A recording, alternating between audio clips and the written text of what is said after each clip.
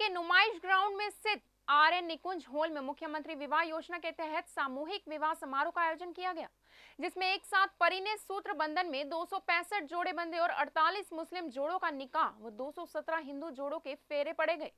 जी हाँ, इस मौके पर राज्य मंत्री अनिल शर्मा समेत विधायक वीरेंद्र सिंह सिरोही, देवेंद्र सिंह लोधी और डीएम रविंद्र कुमार सहित अन्य अधिकारीगण मौजूद रहे। शादी के बंधन में बंधे वर वधु को सरकार की तरफ़ से तो योजना का लाभ मिला ही।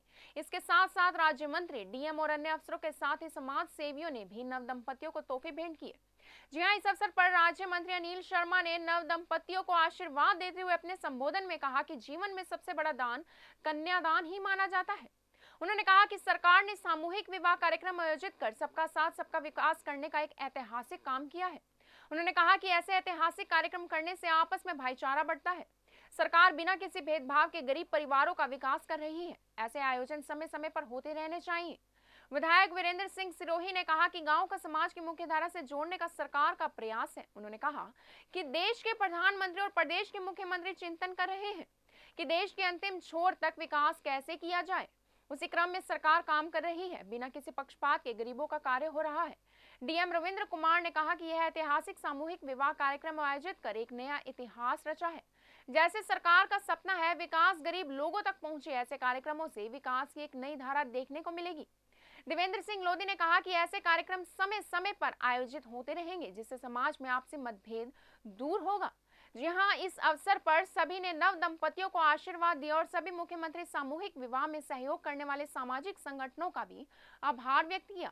इस मौके पर शादी के बंधन में बंधे वर वधु को सरकार की तरफ़ से तो योजना का लाभ मिला ही, इसके साथ ही डीएम, एसएसपी और अन्य अफसरों के साथ ही समाज सेवियों ने भी नव दंपतियों को तोहफे भेंट किए।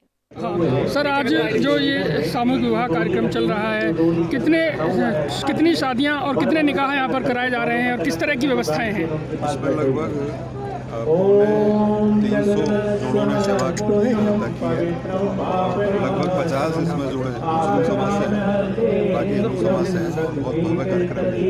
मुख्यमंत्री जी की जो योजना है उसको प्रैक्टिकली यहाँ देखने जनता और समाज का भी किस तरह से सहयोग मिल रहा है पूरा सहयोग आप देख सकते हैं। और इसको उत्सव के रूप में सब लोग लेते हैं।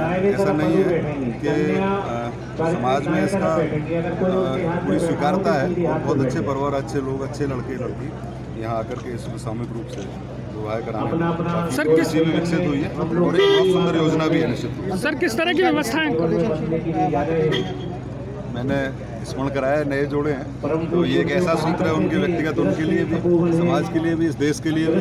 माने प्रधानमंत्री जी माने मुख्यमंत्री जी भी इसका, इसकी चर्चा करते हैं। तो मैंने भी इन जोड़ों को याद दिलाया कि जनसंख्या का भी आगे भविष्य में ध्यान रखें।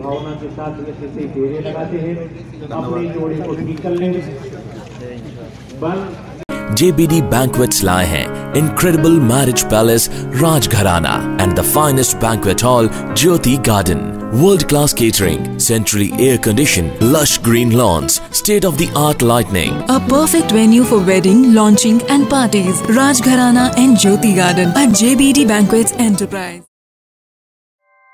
ऐसे ही लेटेस्ट खबरें पाने के लिए बेल आइकन को क्लिक कर हमारे चैनल को लाइक शेयर एंड सब्सक्राइब करें धन्यवाद